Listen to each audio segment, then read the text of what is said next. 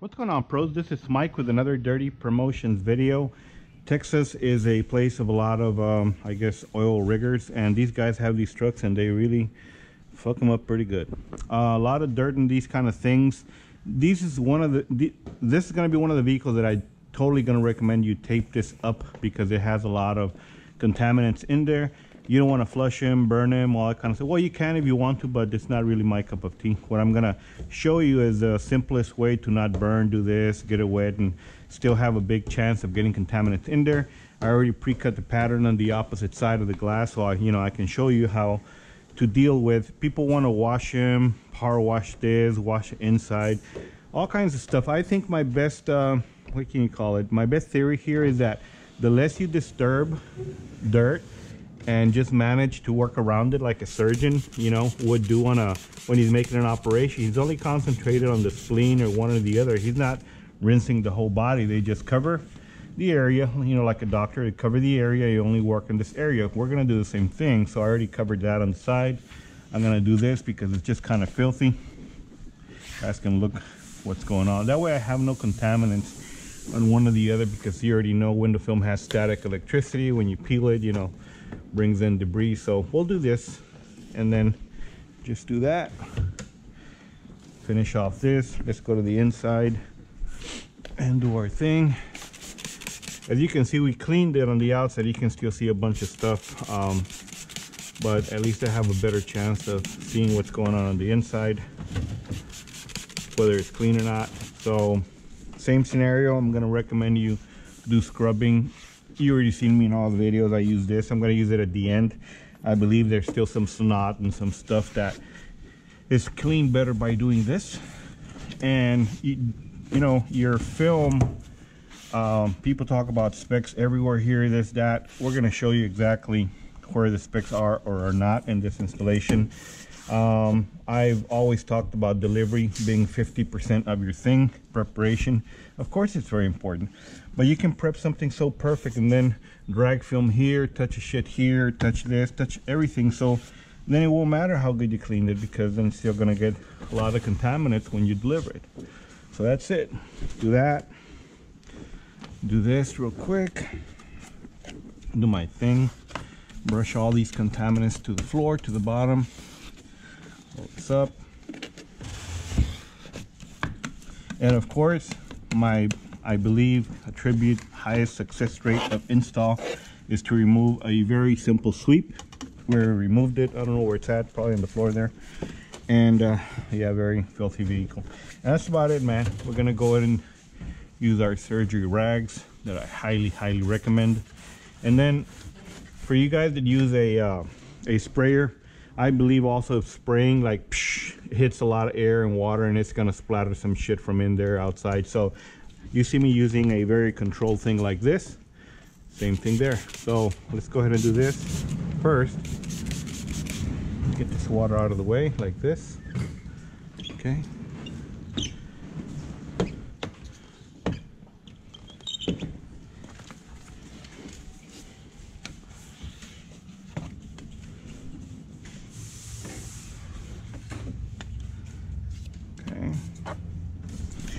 Now that it's clean everywhere then I'd use my control water and assuming that there is something in there it'll be running down. I'm also hitting the tape at the same time so double whammy. And that's all you can do you know. For for dust particles you can't see. Control your water here. So we got water sticking on glass. Now we do this of course. Plenty of juice or you can use your gun here you know it won't matter. Here's okay. You can do it faster if you like. And then of course we're gonna go ahead and do this deal. Drop it apply it and we should be pretty much over over. Start there. And of course it's always going to be extra somewhere. So let's start sliding it down on one side and getting it even like this drag it on down and then once we're here then push it this way and and push it back where it belongs and as I mentioned before use plenty of liquid this is a hand cut pattern right there on the edge Get rid of the top thing like that. Anchor it. Okay, I'm very confident it's anchored well. Okay.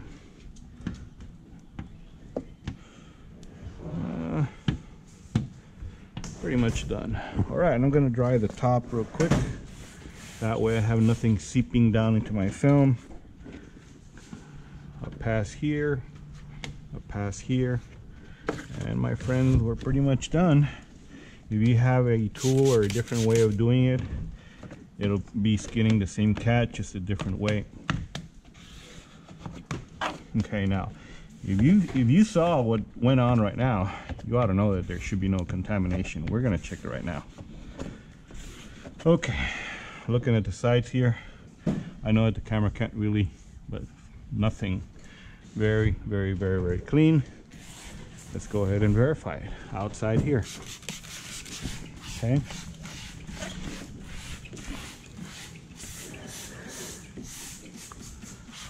My man. There's just a white particle on the outside. There it is. These are white particles on the outside. Very, very, very clean. Right here I have the smallest little crease. I'm gonna go ahead and apply heat on the inside. And man, it is wonderful, wonderful, wonderful. And that's it, man. Very dirty truck. I didn't have to wash it. I didn't have to blow air. I didn't have to do anything. If you do a very controlled lay um, and do exactly like this, the flush very not, psh, if you do with, you know, big old sprayer is gonna dislodge, like I said, stuff from everywhere. You saw it like right here, live on the tube.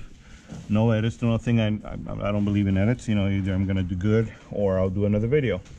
I want you to learn exactly from point A to point Z. And there it is, guys. Have a great day. GoPro, stop recording.